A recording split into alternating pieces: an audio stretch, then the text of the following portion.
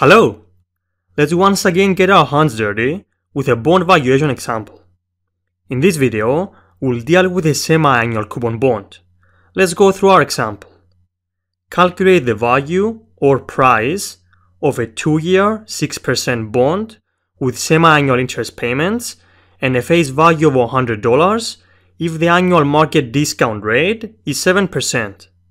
Let's focus on the important pieces of information we want to calculate the value or price, which as was the case in the bond valuation example we saw in the previous video, equals the present value of the bond's promised payments. We have a 2-year 6% bond, so it matures in 2 years. The 6% is the coupon rate, and I wrote it this way, that is without specifying that it is the coupon rate, on purpose. And the reason is because I wanted to familiarize you with the fact that sometimes it is given in this manner, without being explicitly specified. So whenever you see it expressed this way, you will now be able to realize that the percentage refers to the coupon rate. Moving on, we have semi-annual interest payments. And this is the same as saying that the periodicity equals 2. In other words, this bond pays interest or coupons once every 6 months or twice per year. And since it matures in 2 years, it will make 4 payments in total. The bond has a face value of $100 and this is the same as the par value. Now that we know this, let's calculate the coupon payments. The coupon rate is always by convention the annual interest is a percentage of par, and this is not affected by the periodicity or frequency of coupon payments. That is by how often coupon payments are made. So if you were to use the 6% coupon rate and calculate the coupon payments as 100 times 0.06 for a final value of $6, this would be correct if we had annual coupon payments, as was the case in the example we saw in the previous video. But over here, the periodicity equals 2 because we have semi-annual coupon payments. Therefore, before calculating the coupon payments, we need to divide the coupon rate by the periodicity. This will give us 3%, 6% over 2. Now we have what we need to calculate our coupon payments, and those will be 100 times 0.03 that is $3 per 6 month period. Alternatively, you can calculate the coupon payments as if this bond was an annual pay one, something which will give you these $6, and then divide that by 2 to get to the $3 we got, which is consistent with a periodicity of 2. Let's now move on to the last bit of important information. The annual market discount rate is 7% and this is what we called the yield to maturity or YTM and denoted with Y in the previous video. But this is an annual rate.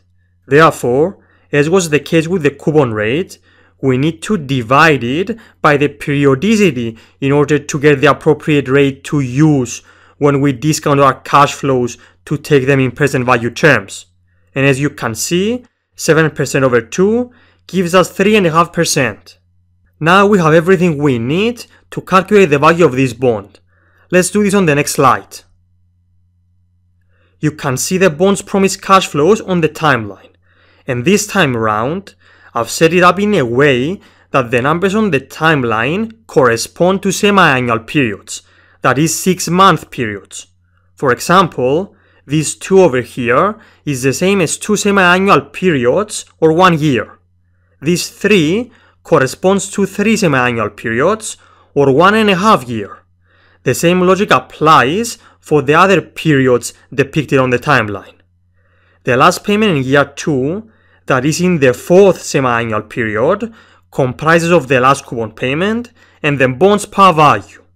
So let's now calculate the bond's value or price. This equals 3 over 1.035 to the first power to discount the first coupon payment, plus 3 over 1.035 squared to discount the second one, and so on and so forth for the remaining ones. By now, you are provisioning this, so we don't need to go through it in detail. If not, then just blame me for being a bad teacher. Before we move on, one important note. Notice that the exponents in the denominators also correspond to semi-annual periods. Had we not adjusted the yield to maturity by dividing by the periodicity, we would not be able to do this. Moving on, the discounted values are the following, and they give us a final value of $98.17 rounded to two decimals.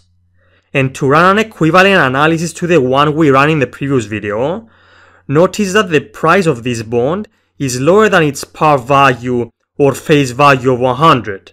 Therefore, the bond is trading at a discount to par. And the reason is because the bond's coupon rate is lower than its yield to maturity.